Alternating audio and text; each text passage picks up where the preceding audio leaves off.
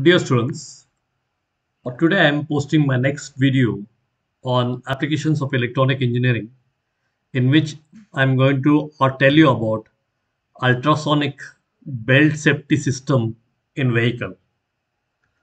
So here ultrasonic car safety belt system whatever we see in a car or in any a vehicle wherever you have a safety belt how does that belt work okay now, if you uh, go to see the basic thing of that, ultrasonic car safety belt system, it is designed to protect the driver and passengers in the event of a collision or a sudden stop.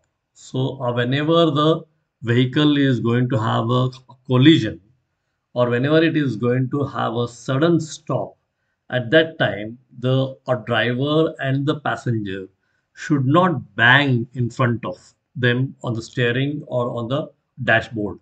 They should be they should be means avoided from banging and they should be protected from that. Okay. When in motion the driver and passengers are traveling at the same speed as the car.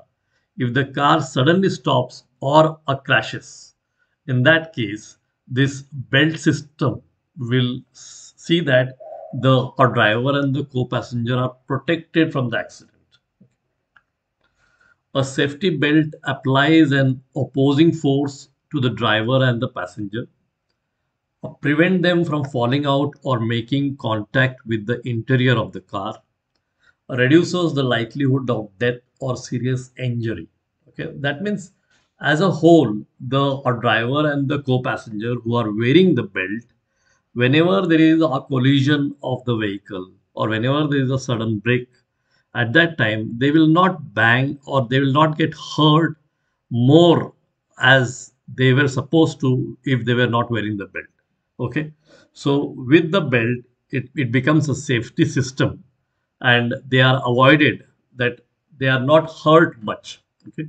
They are not seriously injured. Now as a picture we can see this picture for safety belt system here now it is a system where there is a narrow ultrasonic beam which is directed at the receiver and which is mounted on the windscreen.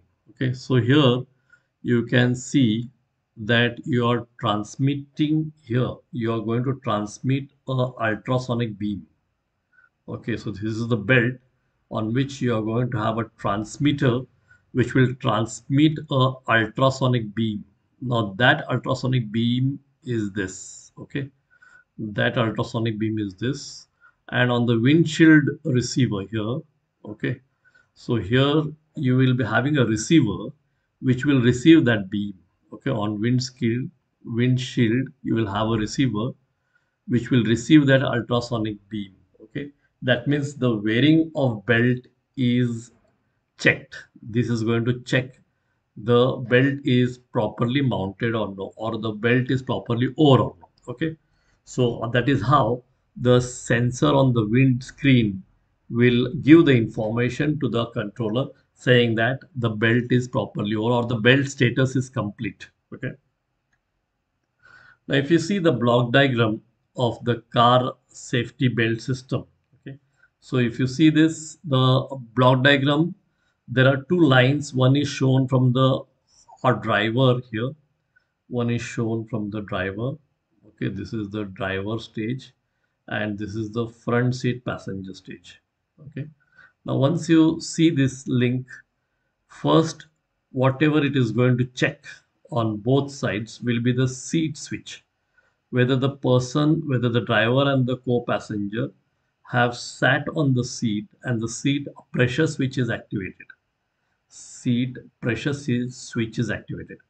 Afterwards, the status of the belt belt switch is checked. Okay, that means the belt transmitter will transmit an ultrasonic beam towards the receiver on the windscreen, and then that windscreen will tell that the belt status is complete and the belt is bore. Okay, now this gives a signal to the belt position sensor. Now in that sensor, this is the transmitter and this is the receiver. Okay, so even here you can see this is the transmitter and this is the receiver okay now for the for driver you can see it is going to transmit a signal of 40 kilohertz and in case of front seat passenger it is going to transmit a signal of 50 kilohertz okay?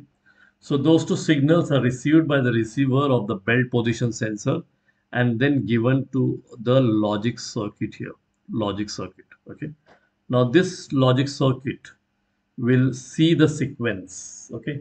Now if the sequence is correct then that will go to the ignition switch where the ignition switch will be activated and the spark plug will give a spark so that the engine will start the fuel and air combustion firing will take place. The engine will start and the vehicle starts moving.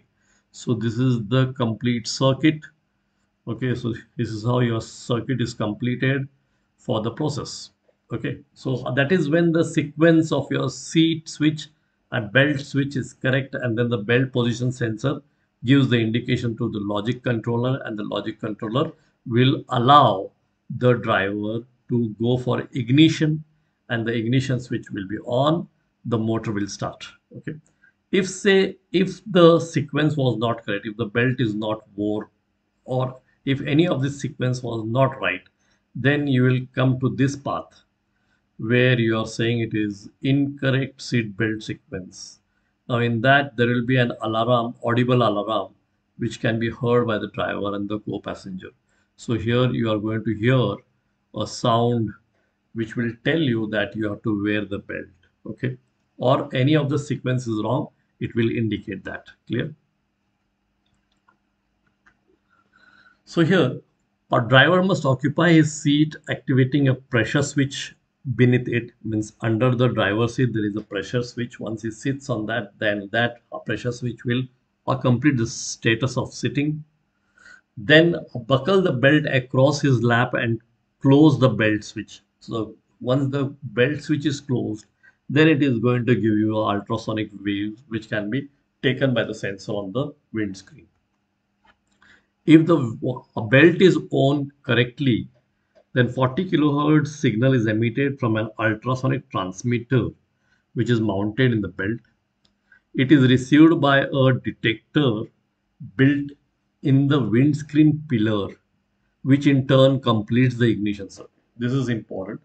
Once that ultrasonic ray, ultrasonic wave is received by the receiver on the windscreen, then that receiver will give the signal to the logic circuit and the logic circuit will see that the ignition circuit completes and the ignition works so the ignition process starts and then the spark plug will give the spark. Then the fuel air mixture will get burnt. And once it burns power is developed and the piston in the cylinder starts moving. Then that is converted into rotational moment and then the wheels start moving and in this way the vehicle starts. If sequence is not correct, if sequence is incorrect, then the logic circuit will trigger an audible and visible alarm mounted on the instrument panel. Then in that case, a cut ignition if belt is removed while driving after some specific time. Okay, so you are going to cut the ignition if the belt is removed at any time. For very short operations such as parking, the logic arrangement can be adjusted to allow for car movement without the belt being on. So that can be uh, allowed a very short operation where you're going to just park the car and get up, get, get down. Uh, thank you students. Uh, this was the explanation for ultrasonic car safety belt system.